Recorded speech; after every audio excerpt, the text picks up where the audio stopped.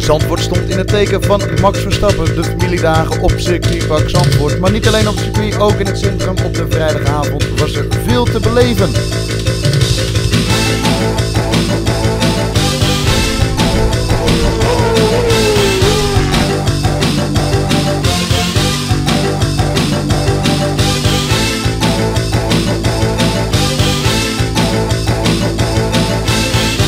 Geweldig. Liesbeth als loco. Wat vind je hiervan? Geweldig. Allemaal Zandvoorten. Leuk. Ja, applaus voor de loco, jongens. Absoluut.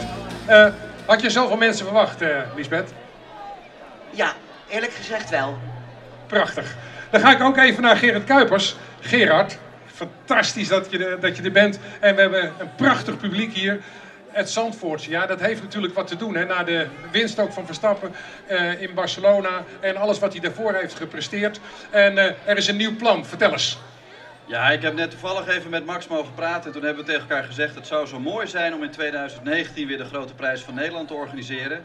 En ik heb met hem afgesproken dat we elkaar dan weer zien hier, maar dat we hem dan huldigen omdat hij de grote prijs van Nederland ook echt gewonnen heeft. Zijn we daarvoor? Top man, geweldig. En dan hebben we twee eh, gedeputeerden van de provincie Noord-Holland. Eh, Kees Logge en eh Joke Geldof. Blij dat jullie er zijn, want nu kunnen jullie met eigen oren luisteren wat een prachtig geluid wij kunnen maken met raceauto's. En Kees, ben je wel eens in de Formule 1, eh, bij een Formule 1 race geweest? Nou, zelf nog niet live aanwezig, want we hebben het al heel lang natuurlijk niet meer in Nederland. Hè? En, en in het buitenland is het net even iets te ver. Maar ik ben wel heel blij en trots dat ik zo dichtbij mag zijn. Wij, wij, wij, wij hebben elf geluidsdagen hier op het circuit. En eh, daar zijn we natuurlijk heel gelukkig mee. Mede dankzij eh, jullie dat we dat eh, kunnen doen. Want het is toch een heel belangrijk item. Vanavond gaan we lawaai maken. Heel veel lawaai met die formuleauto. Dat telt toch niet als een geluidsdag, hè? Nee, dat telt niet als een geluidsdag. Maar gelukkig zijn er wel drie geluidsdagen sowieso voor Formule 1 races gereserveerd. Kijk eens even, dat is een nieuwtje. Dat wist ik zelf nog niet. Vinden we dat goed? Top. Mag ik jullie ongelooflijk bedanken. En nou hebben we natuurlijk de man waar het eigenlijk allemaal om gaat. Die staat hier achter mij eh, te trappelen. En dan gaan we hem even roepen, jongens. Max Verstappen! Nog een keer, Max Verstappen! Het lijkt Sinterklaas wel. We want Max. Roep hem maar. We want Max. We want Max. We want Max. We want Max. Dames en heren, daar is hij!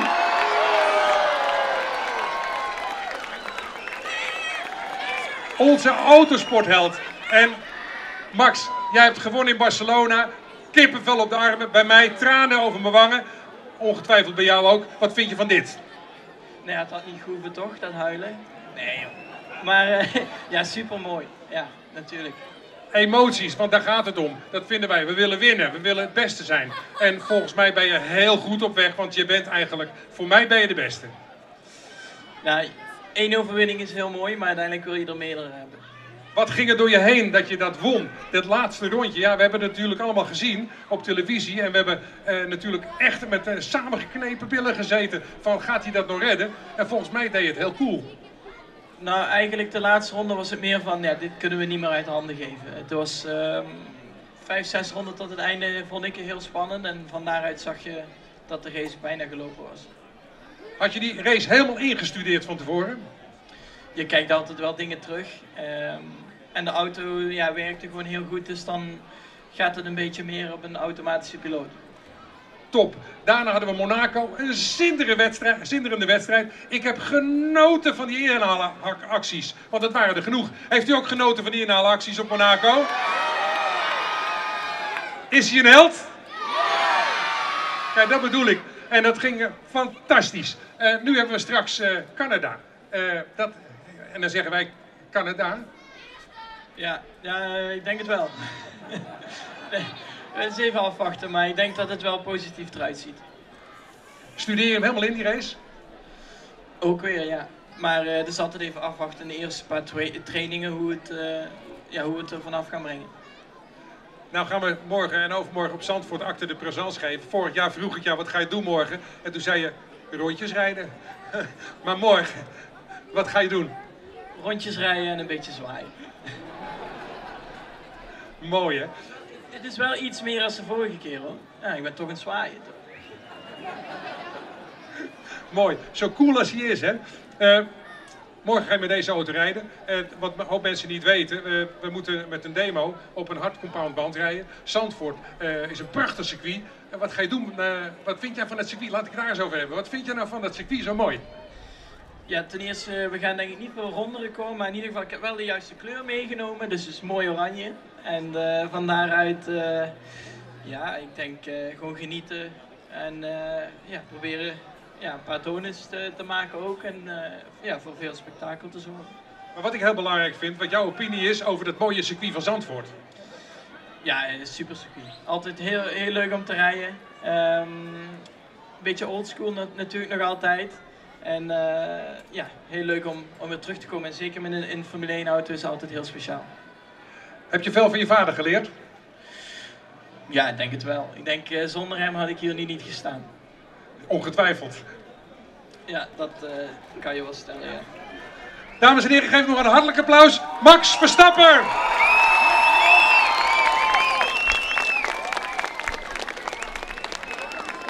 U kan straks allemaal een handtekening van hem krijgen als hij de handtekeningssessie gaat doen hiervoor aan het hek. Niet dringen. Max neemt altijd de tijd. Ik vind het altijd heel knap dat je dat doet, Max. Dat je ook zo lekker rustig met die mensen een handtekeningetje zet. Even op de foto gaat. Wat een heerlijke coureur ben je. En een mensenmens. Dat is ook leuk om te zien. Gaat gebeuren, hè? Ja, ik eh, doe mijn best. Ik probeer zoveel mogelijk mensen een handtekening te geven. Heel goed, dames en heren. Oh, we hebben nog één eh, klein dingetje van eh, onze loco-burgemeester. Liesbeth, eh, wat ga jij zeggen? Max, de jongste van deze aarde, ooit winnaar Grand Prix Formule 1. Top!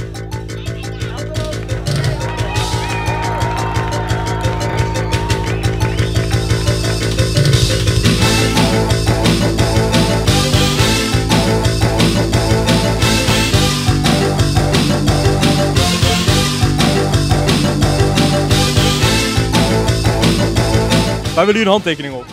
Ja, op het eh, briefje en een foto. Ja. En eh, het is wel spannend hè, zo dichtbij. ja, nu begint het wel te komen, ja. En eh, kijk je elke wedstrijd? Nee, niet elke, maar wel veel. Hij is er bijna. Ik ga jullie niet verder storen. Succes hè? Ja, dank. We zijn wel fan van hem, maar hij kan goed rijden. Hij is eerste geworden. En zou je zelf ook, eh, net als Max, later... eh, Eh, ja. En eh, wat ben je nou benieuwd naar? Want volgens mij gaat hij zo meteen aan. Eh, ja, eh, omdat dat, dat het heel eh, leuk is dat hij aangaat. Ben je niet een beetje bang voor het geluid? Want het maakt wel heel veel herrie hè? Ja. Nou, niet echt bang, maar wel heel hard. Nee. weet niet wat je gaat verwachten, want wie weet is het echt heel knijterhard en dat je weet dat je een piep in je mond krijgt. Maar dat hebben jullie ervoor over denk ik. Eh, ja.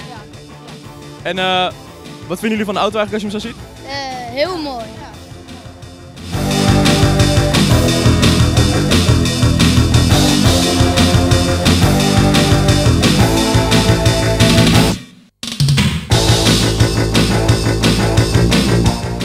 En dan is het tijd om de RB8 te gaan starten in het centrum van Zandvoort.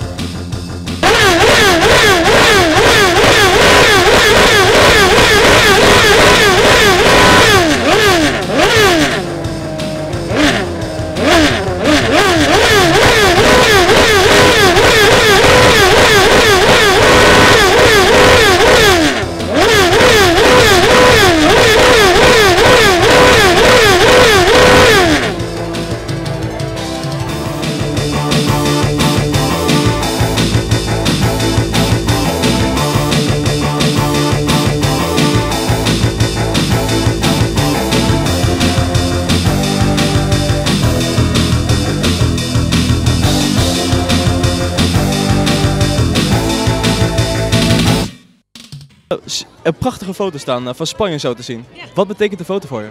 Wat zeg je? Wat betekent de foto voor je? Eh, dit is een cadeautje voor Max. Cadeautje? Ja, dus gaan we aan hem geven.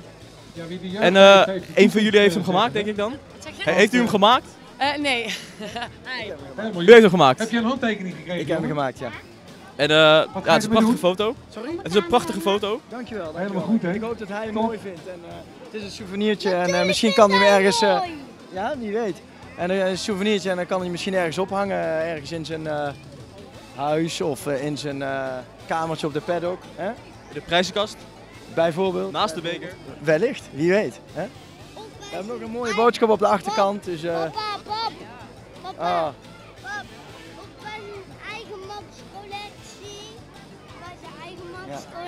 Wacht, wacht, wacht, wacht, wacht. Dat is een cadeautje Een cadeautje voor jou? Oké. We hebben er twee. We willen jou zijn dit er twee. aanbieden namens mag je ons. houden? Ja, We nou, hebben iets heel voor je bedankt. opgeschreven achterop, een boodschap. Achterop nog een boodschap. We zijn mega fan met z'n vieren van jou. Dit zijn superfans met z'n Ja, vieren. En vanaf hebben ze het een moment. foto gemaakt. Wij met z'n vieren. Dat is heel mooi. En we, we hebben er ook nog eentje. Zou je er voor ons willen signeren? Want we hebben er ook eentje die we zelf graag thuis Natuurlijk, ja. Als je hem hier En er wordt. Mooi in, in, in het wit. Ja. Voor de trouwe fans. Nou, ik vind het... eh, Geweldig. Oh, ja. heel En wil je misschien met ons op de foto dan maken? Oh. En nu moet je nog een handtekening opzetten. Ja. Oh, de- Maar Wacht, maak hem even open. Dan kan Erik...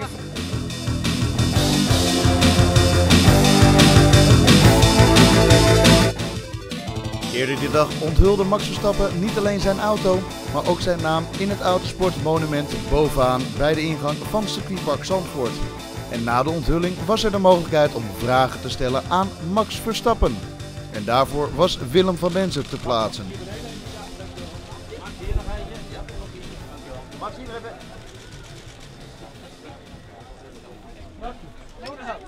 Eh, racingdagen bij Max Verstappen op Zandvoort. Vele tienduizenden mensen komen. Ben je wel gewend, zulke mensenmassa's. Maar nu komen ze speciaal voor jou. Maakt dat het anders? Ehm, nou, ik denk dat dat het heel mooi is. Zeker, eh, ik denk het hele evenement zal heel leuk worden voor de hele familie. Dus daarom heet het ook familiedagen. En eh, ja, kijk ernaar uit. Ja, je kijkt ernaar uit. Je bent vandaag al eh, volop bezig. Eh, dat blijft zo het hele weekend. Is dat vergelijkbaar met de drukte tijdens een Grand Prix weekend voor jou?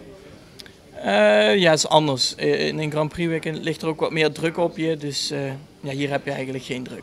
Ja, je hebt het eh, maandag eh, ga je verder. Dan eh, zijn er acht weken, zijn er zes Grand Prix. Eh, is dat fijn voor jou? Zoveel Grand Prix dicht op elkaar? Ja, ligt eraan hoe ze gaan natuurlijk. Maar eh, ja, op dit moment eh, ja, kijk ik er zeker naar uit. Ja, Zandvoort eh, zijn we hier. Wat vind je van Zandvoort eh, op zich? Ja, heel leuk circuit. Mooie herinneringen ook eh, van, van af, ja, twee jaar terug, zeg maar. Ehm, dus ja, altijd heel leuk. Een spannend circuit, nog steeds een beetje de oude stijl. En daar hou ik wel van. Ik zeg het al, heel veel mensen als toeschouwer. Ben je zelf wel eens toeschouwer bij een sportevenement?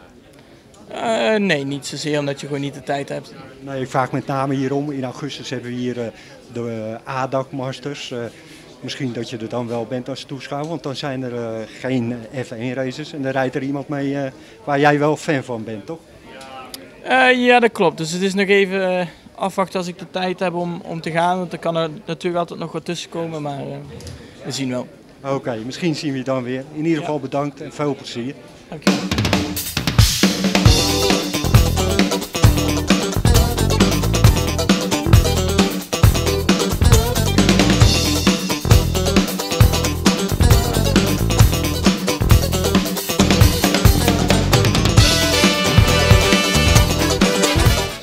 Maar natuurlijk was ook op het circuit veel te doen. Over het hele weekend zijn 100.000 mensen naar het circuit gekomen om Max Verstappen te zien.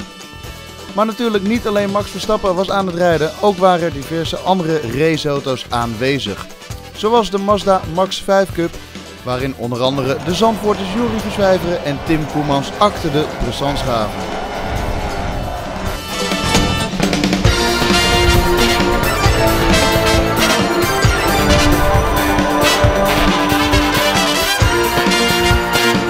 En op de Jumbo Paddock is gedacht aan de hele familie. Van klein tot groot kon zich daar vermaken met leuke attracties en spelletjes, luchtkussens en natuurlijk het reuzenrad. Kom je speciaal voor Max Verstappen hier, hè? Ja, Heb je hem al toevallig gehoord of gezien? ja, televisie, maar zo nog niet. En eh, vind je het spannend om hem misschien zo meteen in actie te zien in zijn Formule 1 auto? Ja, ik wil laten zien, ja. En eh, Wat denk je nou dat hij gaat doen? Gaat hij nog een paar rondjes draaien, een paar donuts maken? Ja, hopen we wel. En een handtekening? Nee, druk. Te druk? Misschien kom je nog wel zo meteen daarachter ergens tegen. Ja, misschien wel. Nou, veel plezier hè? Ja, dankjewel. Waar komen jullie vandaan helemaal? Uit een bos. Uit Den Bosch. Oude Bos, dat is een uh, aardig tijdje rijden. Aardig eindje rijden, ja. Twee uur rijden. Nog problemen gehad in het vervoer? Nee, het valt allemaal mee. Dus je bent hier goed gekomen? Ja hoor. En uh, wat verwacht je hier nou? Ja, uh, eigenlijk de eerste keer voor mij, dus weinig verwachtingen. We gaan het meemaken. Erg druk. Handtekening gaat lastig worden, denk ik? Ja, denk het ook wel. Jij komt echt specifiek voor de Formule 1 auto die gaat rijden? Het evenement zelf inderdaad. En uh, je bent nu een stukje op het circuit, hoe vind je het tot nu toe? Ja, tot nu toe uh, hartstikke goed. Uh, het wordt begeleid, dus super. Erg druk hè? Ja, erg druk, ja.